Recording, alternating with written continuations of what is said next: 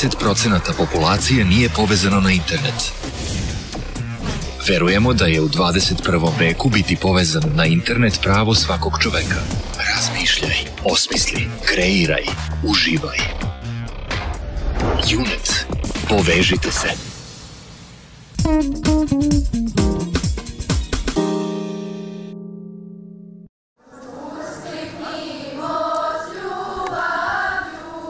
Slava učenika i prosvetnih radnika u Šitskoj opštini obeležena je svečanom akademijom koja je posvećena prvom srpskom arhijepiskopu, prosvetitelju i reformatoru školstva Svetom Savi. U prisustvu velikog broja učenika, prosvetnih radnika, predstavnika lokalne samouprave i sveštenstva, na samom početku usledio je čin osveštanja i lomljenja slavskog kolača. Svetosavsku povelju za postignute uspehe u radu i na takmičenjima ove godine dobilo je 15 učenika osnovnih i srednjih škola sa područja Šidske opštine, kao i 15 prosvetnih radnika. Predsednik opštine Šid Zoran Semenović uručio je zaslužnima ovo prestižno priznanje. Pre svega velika mi je čast što, su, ovaj, što je prepoznat trud i rad i da kažem to je jedan zadatak za ubuduće da još odgovornije i još bolje radim. Velika mi je čast da je primim i mnogo mi znači, seća sam mnogo. Šta znači ova nagrada za tebe? Pa zadovoljna sam naravno, ali mislim, ne znam, ne znam baš šta šta kažeš, šta znači, ali srećan sam. Mogu da budem beskrajno zahvalna celom kolektivu koji je od svih izabrao mene zato što u našem kolektivu ima divnih kolega. Ja zaista ne znam kome bih ovo priznanje dala dalje i zaista e, nije baš najsrećnija situacija kada jednog izaberu, a ima nas dosta dobrih. Naš učiteljski poziv, hvala Bogu, treba da je svet. Mnogo mi znači prvenstveno zato što sam imala podršku i svojih prijatelja i familije i porodice generalno i nastavnika i njima bi želela posebno da se zahvalim što su mi pomogli da ostvarim ove uspehe koje trenutno imam. I ova povelja mi mnogo znači i jedno veliko hvala svima koji su mi pomogli u tome. Program Kako je Sava postao monah inspirisan delom Svetog Save koji je svoje sledbenike učio o značaju duhovnog i umnog bogatstva, pripremili su učenici viših razreda osnovne škole Sremski front sa timom nastavnika mi smo zadovoljni ako je publika zadovoljna. A pošto smo čuli ove lepe kritike od strane publike na kraju predstave i naše srce je sada puno i nije nam teško što smo ova, ove dve nedelje zaista udarnički radili. Tekst je bio inspirativan, pružao je mogućnosti glumcima da se istaknu, da ostvare svoje uloge. Zahvaljujući cvetinu smo dobili ove predivne kostime koje su nas vratile u to doba. Muzikom smo upotpunili, tako da mi smo zadovoljni, a kažem još smo zadovoljni kad vidimo da je i publika zadovoljna i da im se program dopao. U ime dobitnika Svetosavske povelje zahvalila se Jelena Obradović, nastavnica srpskog jezika sa porukom da je do sada učinjeno mnogo značajnih koraka u obrazovanju i školstvu, ali se mora pamtiti i poštovati prvi korak Svetog Save. U ime škole Sremski front prisutnima se obratila i školsku slavu častitala vršilac dužnosti direktora Bojana Lepinjica. E, samo želim da im e, poručim da prate put Svetog Save, e, da budu ispunjeni verom, ljubavlju i nadom. Svečanost je organizovana uz podršku opštine Šid. Miris pasulja i toplog hleba širio se na jednom od punktova koji se nalazi u ulici Maksima Gorkog, a koji je namenjen korisnicima narodne kuhinje. Pored Pančeva i u naseljenim mestima od prošlog septembra počeli su umesto paketa korisnici da dobijaju redovne kuvane obroke. Obroci u narodnoj kuhinji su po propisanim standardima i obavezno obuhvataju parče mesa, ali dodatne namirnice koje doniraju građani, kao i namirnice iz banke hrane. Na taj način im se obogaćuju obroci, istakla je sekretarka Crvenog krsta Milica Todorović. Ekipa televizije Pančevo bila je na jednom od punktova. Pored kompanija koji su donatori e, i koji obezbeđuju neke proizvode ili obezbeđuju novčana sredstva koja idu ka Crvenom krstu Vojvodine i odatle se pribavljaju određene namirnice. Naši građani vredno učestvuju i daju svoj maksimalni doprinos kako bi svi zajedno se oslonili jedni na druge i kako bi oni koji ne mogu bez našeg oslonca i podrške i bez podrške institucije i sistema imali jedan redovan obrok, pre svega, o čemu Binine grad, jedan redovan obrok svakoga dana u isto vreme i na isto mestu, a naši sugrađani i sugrađanke pripomažu da taj obrok obogatimo uz ove donacije redovnih naših donatora.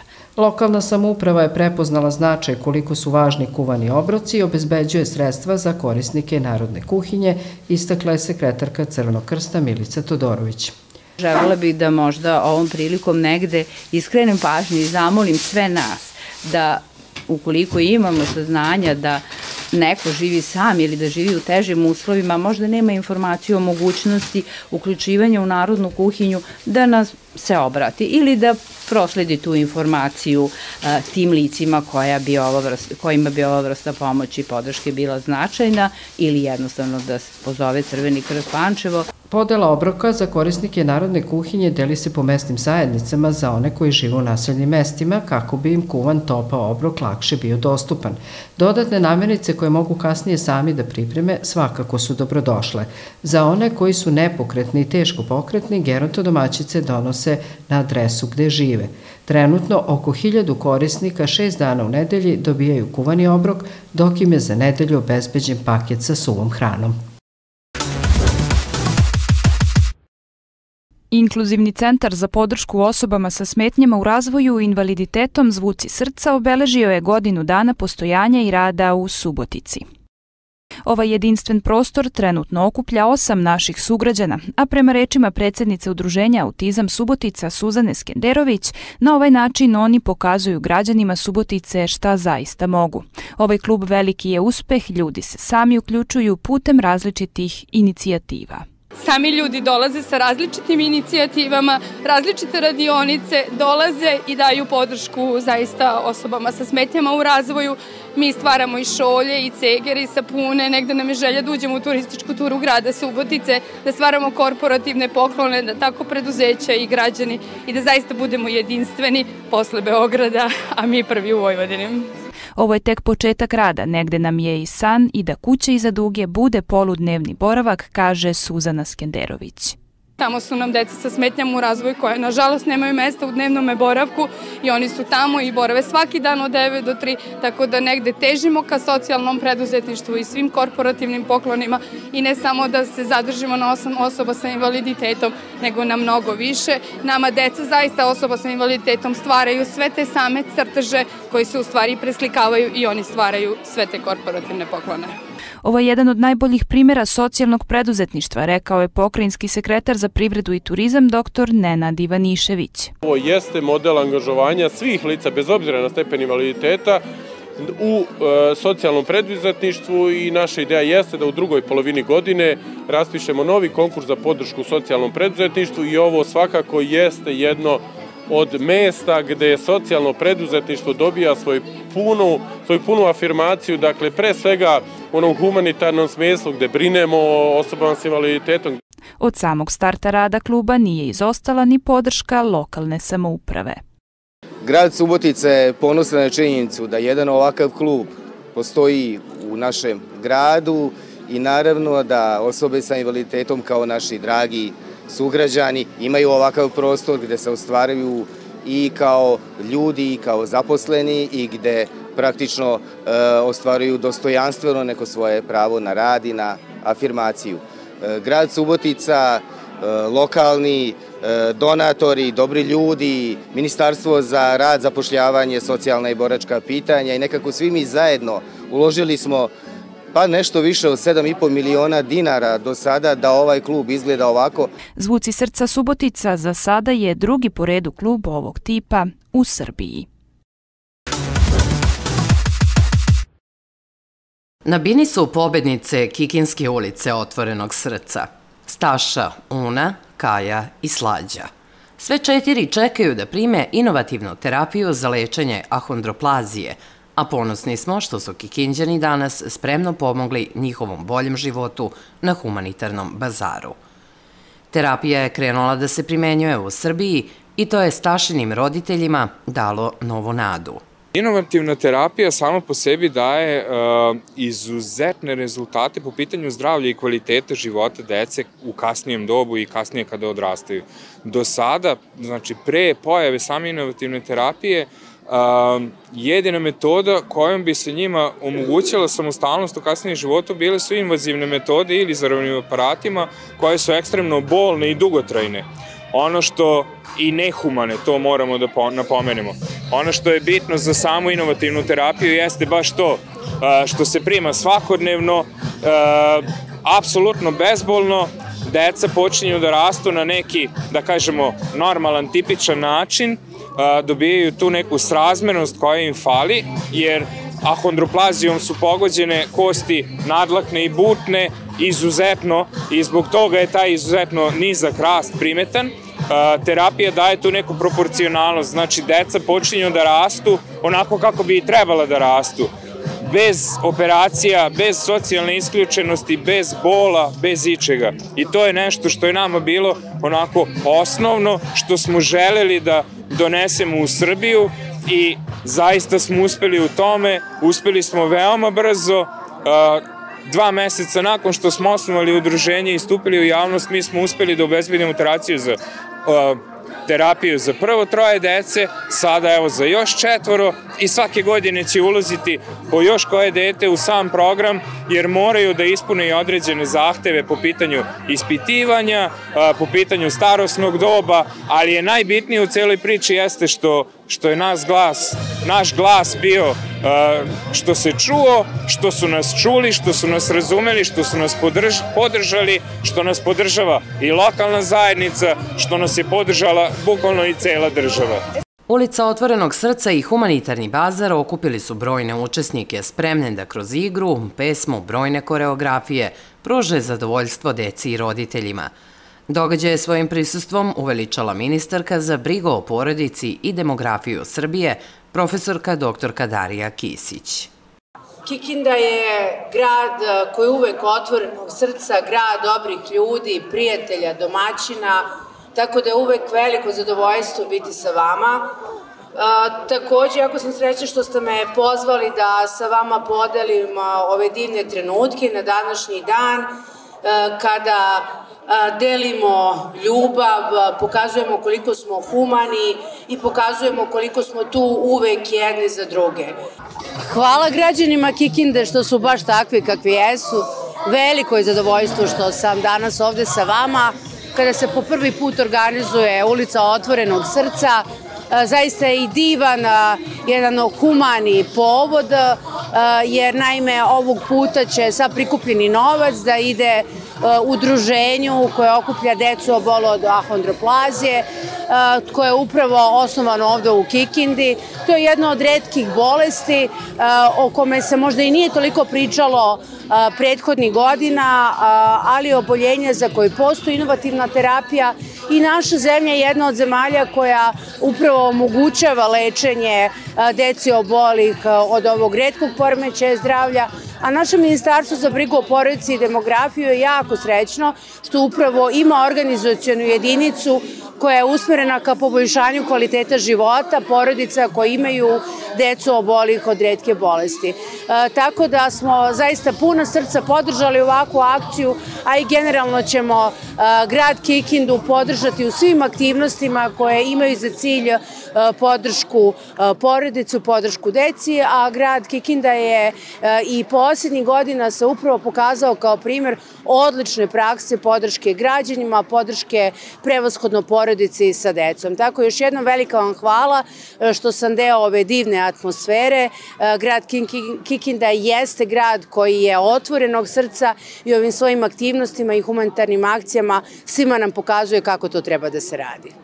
Ministarka je prošetala ulicom Otvorenog srca, upoznala se sa lokalnim proizvodima, a trg je ispunila kreativna energija pozorištance Telane, volontera Crvenog krsta i drugih brojnih organizacija koje su se rado odazvale pozivu da daju doprinos humanitarnom zadatku, pomoći deci sa ahondroplazijom koje sada imaju priliku za kvalitetniji život. Gradonačelnik je sa zahvalnošću govorio o važnosti porodice. Ja ne znam šta ima lepše od ovog osmeha dece i nestrpljenja, pre svega da oni sebe predstave svom gradu, svojim roditeljima, svojim bakama i dekama. Pre toga hvala ministarki za brigu o porodici, gospođi Dari, hvala mom dragom prijatelju Radošu, koji su došli da podrže pre svega grad Kikindu i ulicu Otvorenog srca koju po prvi put organizujemo, a sve u cilju da stvarno čuvamo porodicu i da se podsjetimo zašto je porodica, zašto su deca, ono što je najvažnije i zašto moramo svi zajedno da brinemo o deci i da ulepšavamo njihovo detinstvo. Grad Kikinda uvek pokazuje onu humanost, trudimo se da širimo stvarno ljubav, ali i da budemo stvarno maksimalno posvećeni pre svega porodici, deci i to i jeste glavno opredeljenje kako grada Kikinde, ali poštujući i politiku vlade Republike Srbije i naravno da porodica kao osnovna jedinica društva gledamo da podržimo, da ova dečica i ovi osmesi da nam daju dodatne motive da budemo još bolji u nekom svom poslu i da se borimo za njih. Prva manifestacija humanitarna od, ulica Otvorenog srca biće posvećena udruženju građana deca sa hondroplazijom, čije sedište ovde upravo u gradu Kikindi. Specifična je jedna bolest koja je upravo u poslednjih godinu dana prepoznata i od strane vlade Republike Srbije, Ministarstva zdravlja.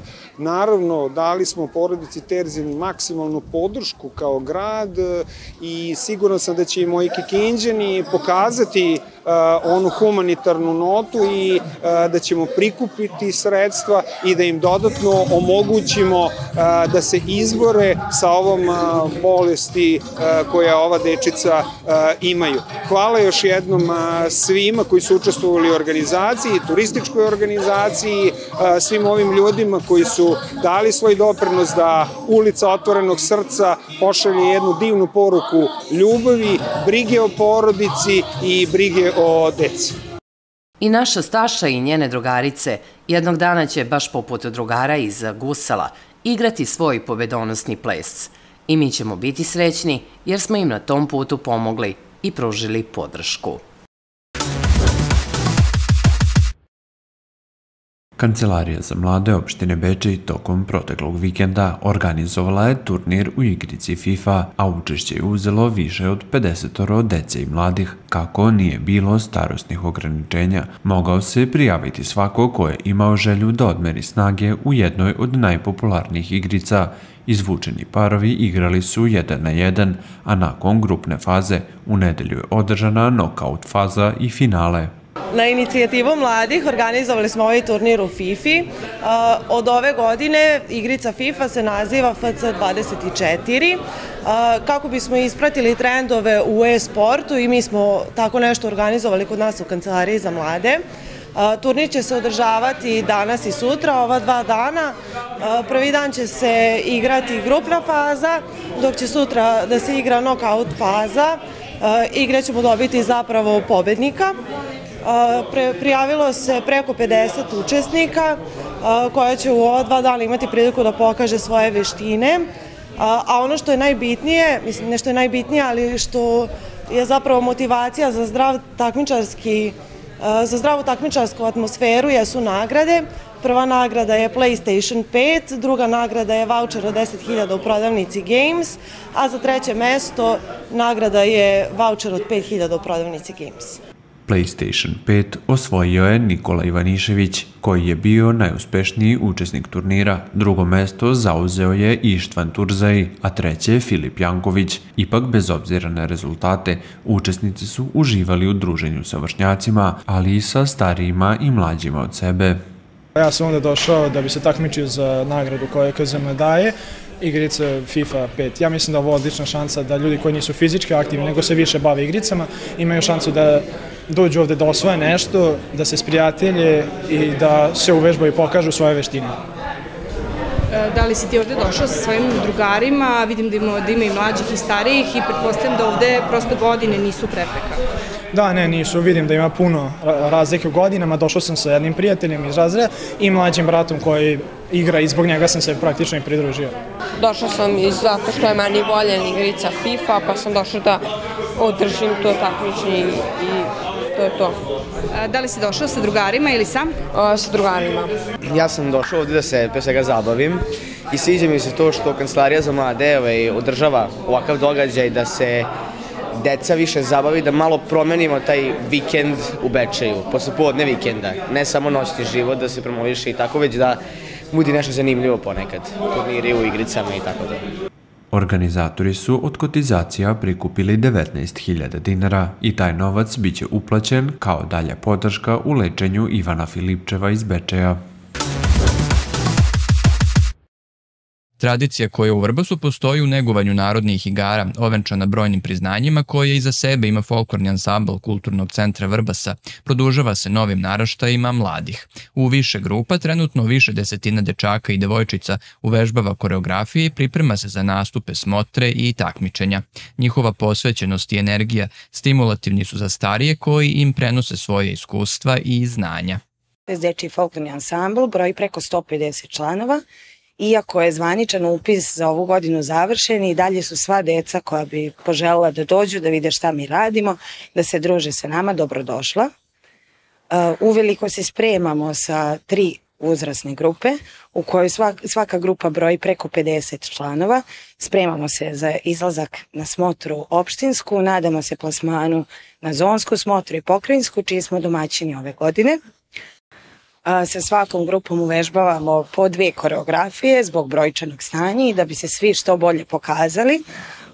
Dobili smo i tu veliku čast da učestvujemo u projektu nacionalnog ansambla Kolo gde smo zajedno sa devet drugih gradova to je sa devet drugih društava, učestvujemo u projektu Kolova dečja kolonija, gde zapravo igrači, rukovodioci u nacionalnom ansamblu Kolo dolaze da rade sa nama. Mi uvežbavamo sve to i nadamo se realizaciji do kraja školske godine imamo to veliko zadovoljstvo da se u naš grad na velika vrata vratio folklor, da su deca zainteresovana jako. Počeli smo, o tome su se odazvali i vaspitačice i učiteljice, te imamo stalno pozive da i u školama uvedemo koliko je to moguće u sklopu fizičke kulture, da uvedemo da korake naše tradicionalne, da se radi mali folklor. Samim tim se poveća i broj ovde kod nas u kulturnom centru. Mogu reći da smo jako zadovoljni, deca se uvek vraćaju i dovode dalje drugari i dolaze nam novi drugari i ja mislim da su oni zadovoljni time što mi ovde radimo, da se osjećaju lepo i upravo zbog toga nam se vraćaju i dolaze u još većem broju.